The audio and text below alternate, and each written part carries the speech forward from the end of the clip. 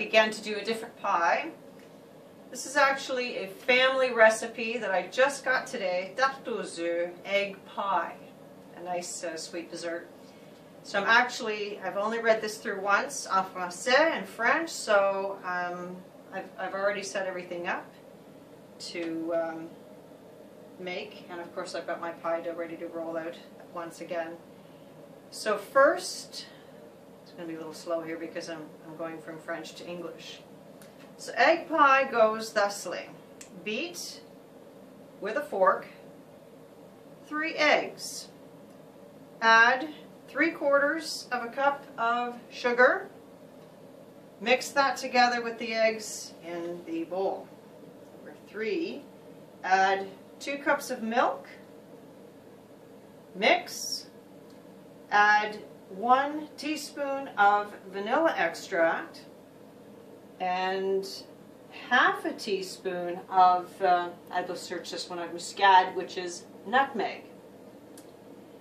And then you're going to pour this mix into the pie crust that is not cooked and cook um, in a preheated oven at 350 degrees Fahrenheit, turns page.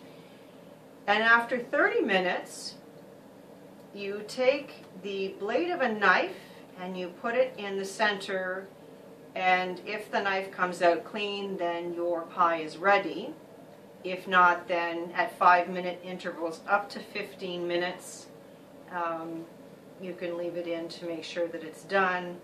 But you have to check it if you go beyond 30 minutes every five minutes because uh, otherwise if the eggs cook for too long then it won't be any good anymore. So um, I may show one or two little steps along the process here, but I got this in the mail today as well. It is a hand woven little apron that was made in Sainte Marguerite, Quebec, that was bought in uh, Place Bonaventure in Montreal, the heart of Montreal. So I just had to show off. I really love collecting aprons. So anyway, I'm going to get started on putting this together and when I've made this, I'm actually going to make it go like right here up here because it's going to be a family favorite as well. So, all right, see you soon. All right, so I've just swirled the uh, ingredients together. This one, this pie is actually easier to make, believe it or not, than the vinegar pie. I had my um, pie crust ready to go and the ingredients all mixed up in less than 15 minutes outstanding. Um, so yeah, this, this is a French-Canadian recipe that my grandmother made many, many times, and my youngest uncles, I am told, would drive over from work or on the weekends just to get mom's egg pie. So, Tante Louise, Tante Diane, si tu pourrais montrer ce vidéo à Tante Florence, ça serait super. I'd love it if you could show this to them, or to show this video to her because I want her to know that I actually did this. I want to be one day a master baker like my grandmother was. I find this this uh, a little liquidy, so let's just see how this turns out. Like really, really liquidy. So I'm hoping that the eggs that are in here are going to give it a good consistency.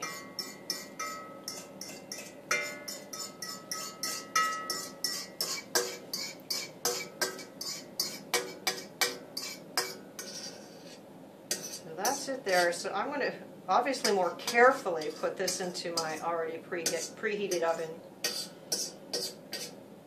Yeah, my goal in life is to become as master baker as my grandmother who could make like this with the hand, make this into in the flour and have exactly one cup's measurement of flour.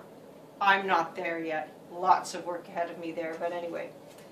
This is going into the oven 30 minutes. I'm going to see how this turns out. I hope it turns out fabulously.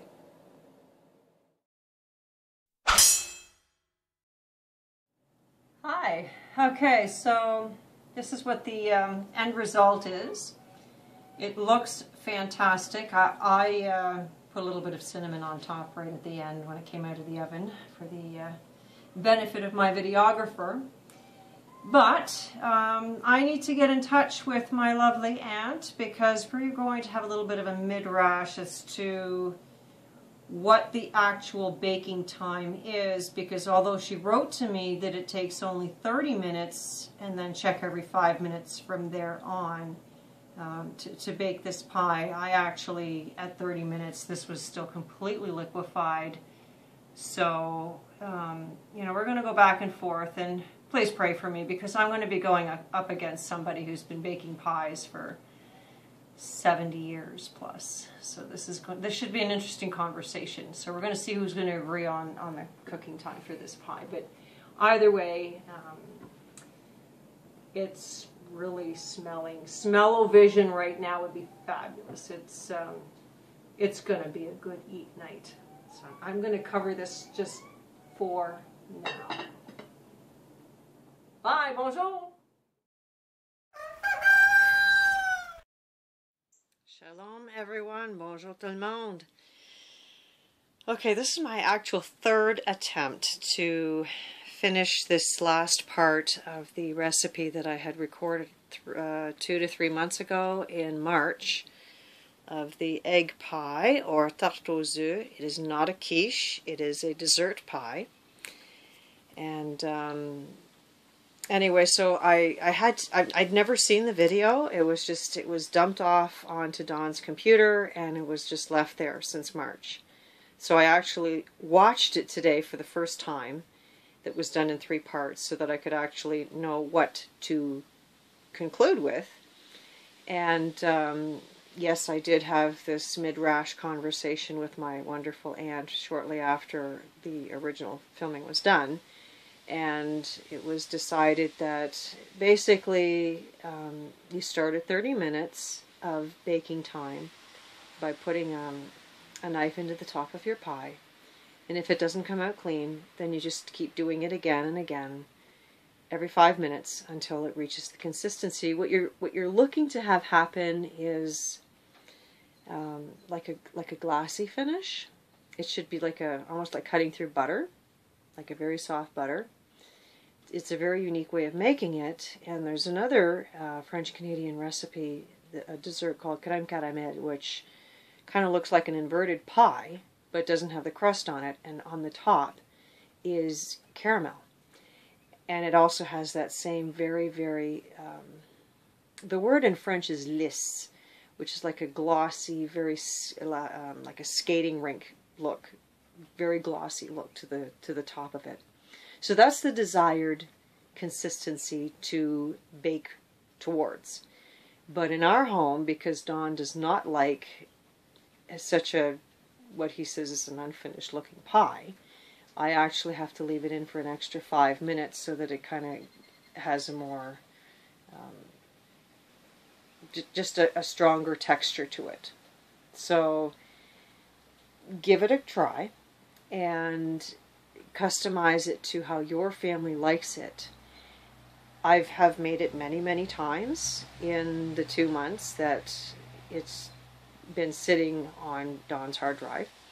So um, I actually made that very pie for his birthday at the, the beginning of this month instead of birthday cake because we don't really eat cake here. So I made him an tarte aux œufs for his birthday. And uh, it lasts about a day. About a day. It, you know, that's and that's if we can keep me from, you know, reaching in with the, the fork and just because you can actually make a meal out of it because it's just got so much nutrition in it. So anyway, so that is the conclusion. If you decide to give it a shot for yourself, then um, please feel free to leave comments below um, as to how it turned out for you. It's just really a wonderful dessert pie, and um, I can see that the background here is not as lovely as looking at pheasants. This is actually, um, this is our back porch, which we have some open windows. I just decided to take a few minutes to come out to the porch and record this uh, little piece for you to, to conclude the matter.